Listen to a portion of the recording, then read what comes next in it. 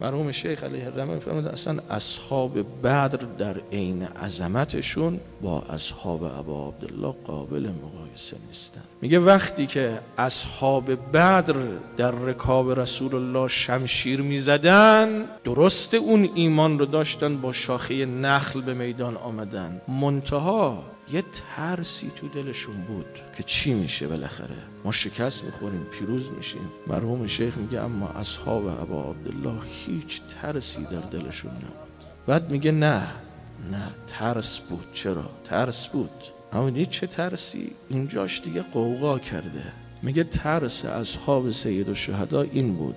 نکنه از آسمان نصرت بیاد به امداد ابا عبدالله قرار باشه اعجاز بیاد که اینا نتونن جان فشانی کنن تو رکاب ابی عبدالله.